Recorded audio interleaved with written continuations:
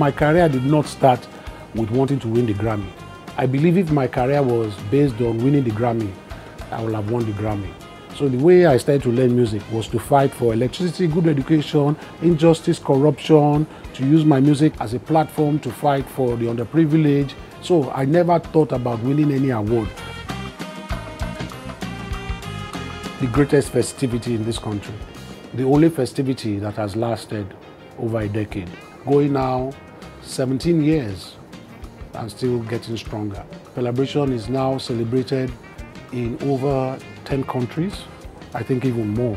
I'm really proud of what my sister has achieved with Felabration.